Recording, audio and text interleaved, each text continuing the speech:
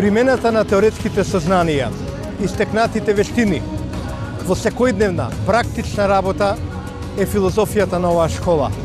Практичната работа, работата на терен, непосредните контакти на студентите со изворите на информации, буквално се незаменливи.